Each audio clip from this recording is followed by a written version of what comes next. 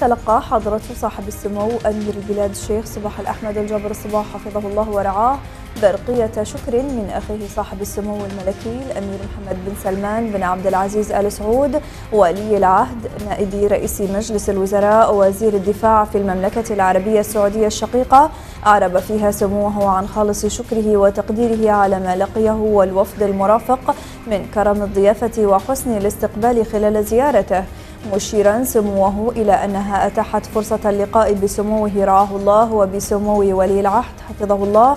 والمسؤولين في الكويت وبحث ما من شأنه تعزيز روابط الأخوة القائمة بين البلدين والشعبين الشقيقين كما أكدت على عمق العلاقات التاريخية التي ربطت وتربط البلدين الشقيقين في ظل قيادة خادم الحرمين الشريفين الملك سلمان بن عبد العزيز آل سعود وسموه حفظه الله سائلا المولى عز وجل لسموه رعاه الله دوام الصحة والعافية وللشعب الكويتي الشقيق مزيدا من التقدم والازدهار.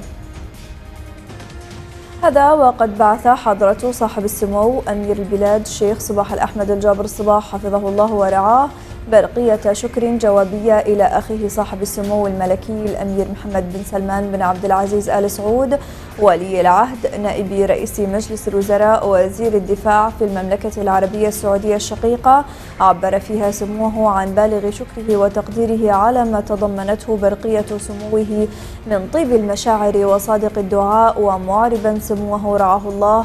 عن بالغ سروره بزيارة سموه الرسمية لبلده الثاني أخا عزيزا بين إخوانه وأهله مشاركا سموه الرأي حول أهمية هذه الزيارة التي أتاحت فرصة اللقاء وبحث كل ما من شأنه تعزيز الروابط التاريخية الراسخة التي تجمع البلدين الشعبين والشعبين الشقيقين وبما يحقق مصالحهما في مختلف المجالات متمنيا لسموه دوام الصحة وموفور العافية. وللمملكة العربية السعودية الشقيقة وشعبها الكريم المزيد من التقدم والازدهار في ظل القيادة الحكيمة لأخيه خادم الحرمين الشريفين الملك سلمان بن عبد العزيز آل سعود ملك المملكة العربية السعودية الشقيقة.